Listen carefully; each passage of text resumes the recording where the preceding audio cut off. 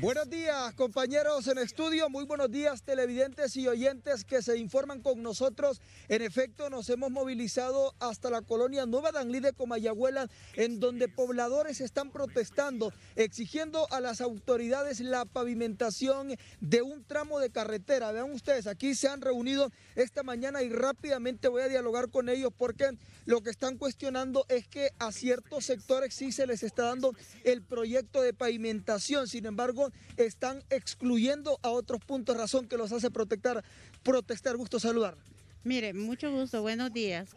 Eh, lo que tenemos que decir nosotros, que a nosotros en primer lugar nos habían dicho que nos iban a construir la primera calle, ¿va? Que es esta calle principal, de aquí de la colonia Nueva Danlí.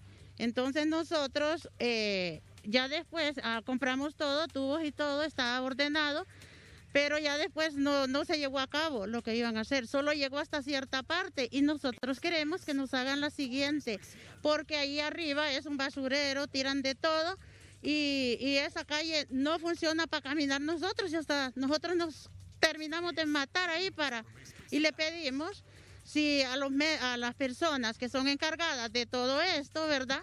Que nos ayuden, que nos vengan a arreglar aquí por motivo de que ah, ya toda la colonia casi está arreglada y nosotros nos han dejado con ese tramo un pedazo para arriba. ¿Cuánto es aproximadamente el tramo que, falta? 66 mm, metros, sí, 66 metros. Y así como se está trabajando en este lugar, por ejemplo, que así trabajan. Como hacen en otro lugar, así como están haciendo otras cuadras, otros pedazos, otros tramos, que por favor nos arreglen a nosotros, a Don Tito. Ya le pedimos que nos arregle, que venga, que se haga presente, o si no las autoridades de él, que vengan aquí. Bueno, muchísimas gracias. El llamado por parte de una de las vecinas de este lugar, usted también decía algo importante que que ya días tienen exigiendo esta pavimentación y es momento propicio para que ya, así como están trabajando las máquinas aquí, que también lo hagan en la parte de arriba. Sí, muy buenos días, Quique. Bueno, la verdad que se le llamó porque le hacemos un llamado a los encargados. Uno no está discutiendo por lo que en, otro, en otra cuadra se haga. Pero si usted ve la diferencia, es bien mínima. Y nosotros también necesitamos el apoyo. Aparte de eso, en ese callejón de otros lados vienen a votar. Tierra, bastantes desperdicios. ¿Me entiende? Entonces nosotros nos abocamos, nosotros necesitamos un compromiso, un compromiso de, de quien se sea, de que nos puede escuchar, de que nos ayuden a hacer el pavimento de ahí. ¿Hasta el momento que les han dicho? Nada. Está la solicitud desde el año 2019, mire, aquí está. Aquí tenemos firmas. Nosotros nos abocamos a usted, a papi, a la orden de que nos ayuden. En tiempos de agua, viera qué horrible es la bajada.